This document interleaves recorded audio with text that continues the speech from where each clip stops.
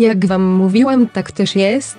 Także witam się z wami w środę nowym odcinkiem ślubu od pierwszego wejrzenia. Tym razem już jedenastym, co oznacza, że koniec sezonu nadciąga nieubłaganie. A odcinek jedenasty zaczął się od interwencji psychologa u Doroty i Piotra. Chorzewska to nie Mosak, więc nie chciało jej się fatygować osobiście, więc dzwonili się na Skype'ie. Chorzewska zdziwiła się, że tak często się widzą, jakby nie mogli grzecznie poczekać do końca eksperymentu i dać jej święty spokój. Piotr zaczął referować, że przecież mówił do Doroty podczas zakupów normalnym tonem jakim zawsze mówi, a że produkcja połowę treści wypikała bo uznała je za wulgarne to już nie jego wina. On się takimi słowami posługuje na co dzień, zwłaszcza w sklepie podczas zakupów. Mówi ty plip podaj mi tą plipszynkę bo ci plip i tak dalej. Ale według Piotra zupełnie nie był zdenerwowany recytując ten soczyste przekleństwa.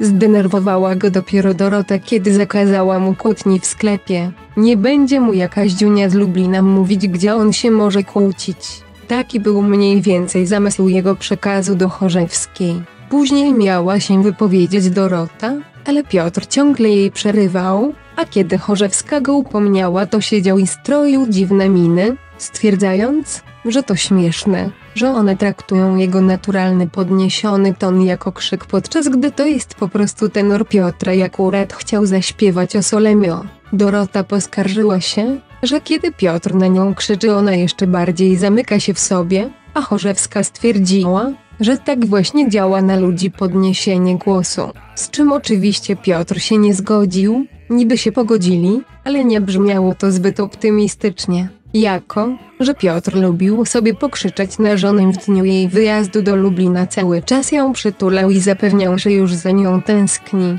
Dorota jednak nie mogła się już doczekać kiedy wsiądzie w pociąg i nikt jej się chyba nie dziwił. Dodała jednak, że chce żeby za sobą zatęsknili. Po wyjeździe Doroty Piotr kupił sobie w końcu kopytka z mięsem, które mógł zjeść w domu. Zajadając się tym niewegańskim daniem narzekał na pustkę w domu po wyjeździe Doroty. Nie po to szedł do programu, żeby teraz w pustym domu siedzieć. Na szczęście za dwa dni dojechał do Doroty do Lublina, gdzie od samego rana wyprowadzał i karmił jej psy. Jako, że Dorota mieszkała z rodzicami Piotr postanowił im w chacie nie sprzątać ani nie gotować żadnych wegańskich dań, więc wolny czas spędzał na czytaniu książek.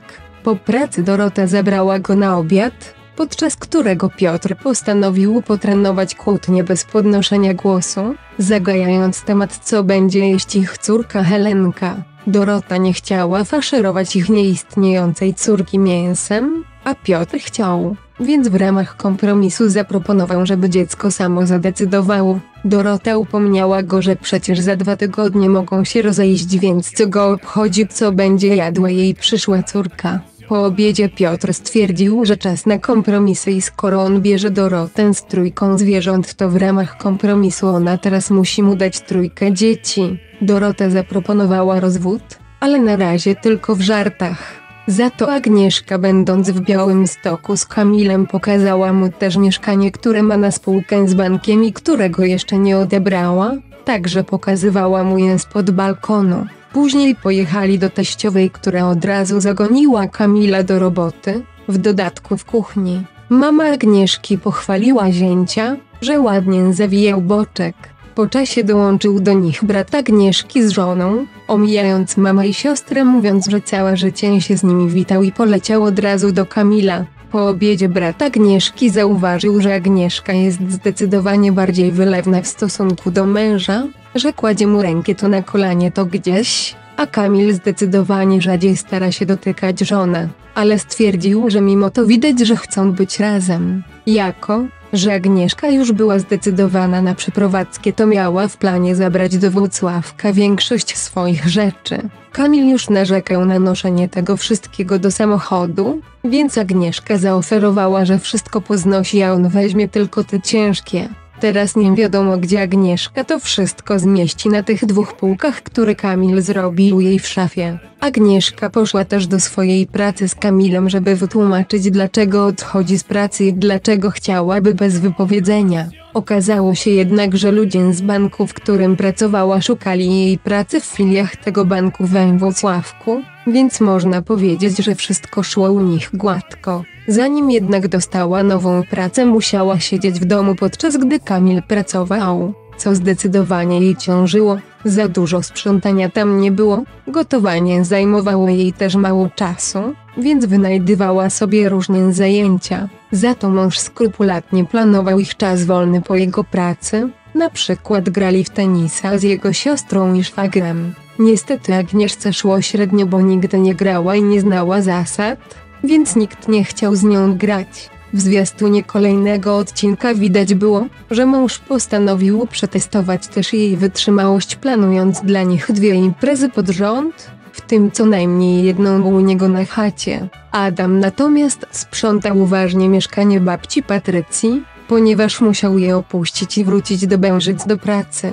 Para zdecydowała się, że będzie się widywać w weekendy i Adam postara się o wolny jeden dodatkowy dzień w tygodniu, jako że nikt z nich nie chciał się przeprowadzić. Patrycja wręcz nie mogła doczekać się aż Adam sobie pojedzie, bo jak przyznała miała już dość spędzania z nim każdej chwili i tego jego okazywania uczuć i gadania o uczuciach. Zrobiła mu inspekcję czy posprzątał chatę i poskarżyła się, że Adam ciągle się jej pyta czy chce herbatę. Jak będzie chciała herbaty to sobie ją zrobi przecież. W dodatku cały czas się na nią gapił, aż musiała na niego nawrzeszczeć jak byli u koleżanki, bo nie będzie się jakiś gość na nią gapił jak je. Patrycja uznała, że jest już tak rozdrażniona Adamem, że denerwował ją sam fakt, że na nią patrzę. Okej, okay, czyli z tej mąki też chleba nie będzie. Patrycja wyznała, że jej w pracy było cudownie, bo nie było tam Adama. Szkoda, że nie porozmawia z nim i nie powie mu tego wprost, że ją drażni. Mogliby się rozstać. Adam by się nie zastanawiał o co jej chodzi i czemu ciągle na niego warczy i mógłby dać sobie z nią spokój. Gości na ślubie nie miał, więc tłumaczyć się nikomu nie będzie musiał stracił dwa tygodnie i tyle. Ale Patrycja takie rzeczy mówiła tylko na osobności. Jednak odprowadzając Adama Patrycja nie potrafiła ukryć radości z jego wyjazdu. Serio, że oni ją wybrali spośród tych tysięcy zgłoszeń do programu to jest po prostu niesamowite. Po wyjeździe Adama Patrycja wróciła do domu. Oboje też, oddzielnie, poprosili o pomoc ekspertów. Każdy na swoim kąpie. Tym razem rozmawiała z nimi nowa psycholog, Karolina. Adam wyznał jej, że pokłócili się przez niego. No i Patrycja też przyznała, że wszystko przez Adama i że ona rozumie, że powinna okazać uczucia, bo on tego potrzebuje, ale ona nie ma uczuć i nie umie ich okazywać. Dlatego Adam powinien też przestać okazywać uczucia, żeby się do niej dopasować. Okazało się, że Adam chce zrobić przyjemność Patrycji trochę na siłę, bo na przykład zrobił jej śniadanie podczas gdy ona nie je śniadanie mu o tym mówiła, ona nie zjadła i jemu było przykro. Psycholog Karolina kazała mu słuchać z zrozumieniem, a Patrycję pochwaliła za to, że rozmawia z Adamem. Widać, że nie oglądała tego, co zrobiła Pyśka po jego wyjeździe, bo chyba te pochwalenia się przed Karoliną rozmową było trochę na wyrost. W zwiastunie widać było, że para nie zdecyduje się na wspólne mieszkanie i że Adam będzie forsował Bełżycę ze względów finansowych, bo u mamy nie trzeba płacić za wynajem, a Patrycja zadecyduje, że będą mieszkali oddzielnie.